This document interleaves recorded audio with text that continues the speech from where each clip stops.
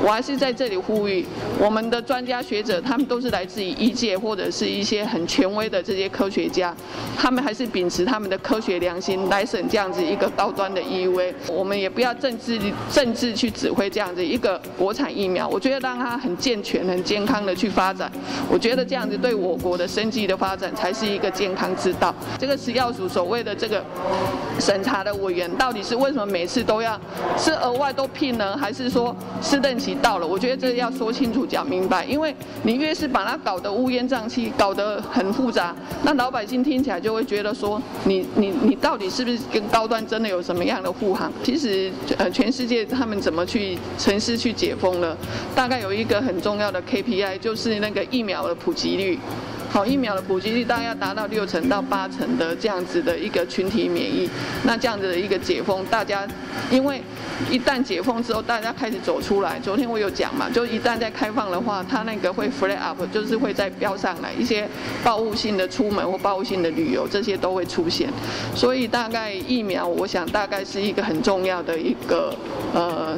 解封的一个参考值。其实我早看到这个联合报的这个食药署署长的解说，他说每次呃会议都会重新聘一些人，我也觉得很纳闷哦，因为其实大家每个部会都有这些委员会，比如说内政部的都审委员、都市计划审议的委员，其实都是有任期制，大概就是判呃聘进来之后，这样的一个委员会大概都可以任期两年嘛。就算是卫福部里头的那个鉴保署的审鉴保的一些委员，也是。都有两年的一个任期，那到底是任期到了还是怎样？不过这个食药署署长他是说每次都会都会另外聘吼，所以这样子事实上就是食食药署的要要出来讲清楚了吼。那再来，我想还是高端这件事情，其实大家我想全国都会支持说我们要发展自己的国产疫苗，但是也不要去揠苗助长吼。这这样子的话，其实也对这件事情也不公平，也对高端也不公平，因为社会上就会开始去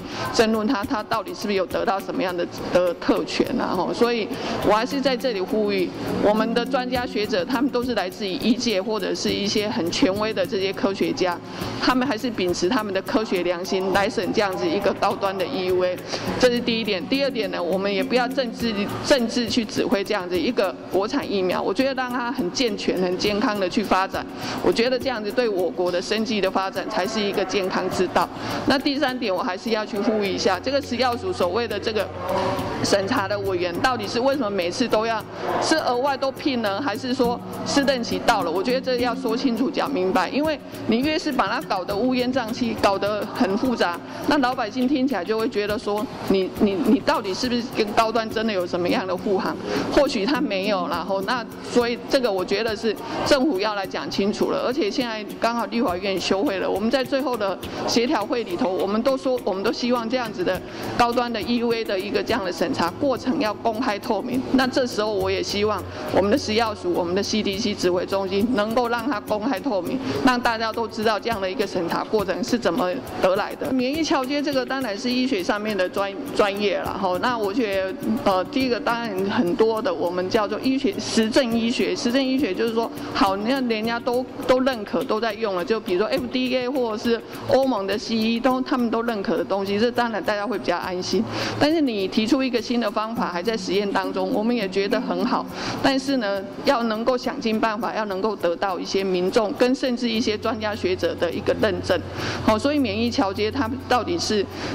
好还是不好？我觉得这个还是要摊开摊在阳光下，让大家专家学者来共同认定它，然后再来就是说，这样子的一个美国的 FDA 或者是欧盟的这样子的一个食药的那个医药的一个专家呢，要能够得到认证，我们才会能够去相信它啦。